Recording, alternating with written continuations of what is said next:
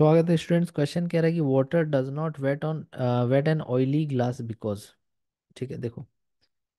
जब तुम घर पे खाना खाते हो और थोड़ा सा ऑयली खाना खा लो उसके बाद जो प्लेट है उसको धोने के लिए जाओ और सिर्फ़ पानी डाल के धो दो तो तुम देखोगे कि वो अच्छे से साफ़ नहीं होते हैं, ठीक है?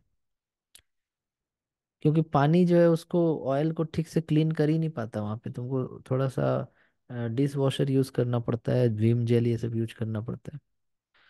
तो एक्चुअल में क्वेश्चन उसी तरह से कुछ रिलेटेड है कि water does not wet on oily glass माने कोई ग्लास का बर्तन है और इसके ऊपर में ऑयल लगा हुआ है, पानी डाल के धो रहे हैं, साफ़ ही नहीं हो रहा है। क्यों ऐसा हो रहा है? ऐसा इसलिए हो रहा है क्योंकि यहाँ पर दो दो तरह का फोर्स तुमको समझना पड़ेगा। एक कोहेसिव फोर्स समझना पड़ेगा जो सेम मॉलिक्यूल्स के बीच में लगता है।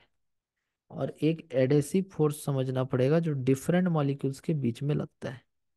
जैसे फेविकोल देखो फेविकोल का डब्बा, उसके ऊपर में लिखा रहता है एडेसिव तो उसका काम ये होता है कि जैसे ये एक लकड़ी का प्लैंक है और ये एक लकड़ी का प्लैंक है, इन दोनों को आपस में चिपकाना है तो बीच में फेविकोल हम लोग डालते हैं। एक लेयर ऑफ़ फेविकोल इधर चिपक जाता है, एक लेयर ऑफ़ फेविकोल इधर चिपक जाता है और हम लोग ऐसा लगता है कि ये लकड़ी आपस में चिपक गई है। तो यहाँ पर जो चिपका है वो एक्चुअल में फेविकोल का एक मॉलिक्यूल और लकड़ी का एक मॉलिक्यूल फेविकोल का एक मॉलिक्यूल लकड़ी का एक मॉलिक्यूल तो ये दोनों के बीच का जो फोर्स है वो एडेसिव फोर्स है, इसकी, इसीलिए तुम देखना फेविकोल के डब्बा पे लिखा रहता है एडेसिव ठीक है?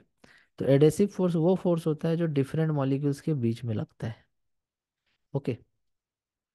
तो जब हम यहाँ पर देखेंगे तो ऑयल और वाटर, इसके बीच का फोर्स को हम क्या बोलेंगे? Adhesive force. वही अगर हम देखेंगे वाटर वाटर तो वाटर वाटर के जो बीच का फोर्स होगा, उसको बोलेंगे कोहेसिव फोर्स। अब सिंपल सा रीजन ये है कि जब ग्लास के सरफेस पे ऑयल पड़ा हुआ है, अगर ग्लास के सरफेस पे ऑयल पड़ा हुआ है तो अब पानी तुम इसमें डाल रहे हो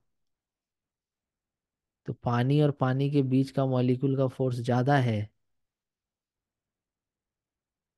एज कॉम्पेयर टू ऑयल और पानी के बीच के मॉलिक्यूल का फोर्स तो इसकी वजह से तुम्हारा ऑप्शन नंबर इसमें जो है आई थिंक ये वाला डी जो है सही होना चाहिए।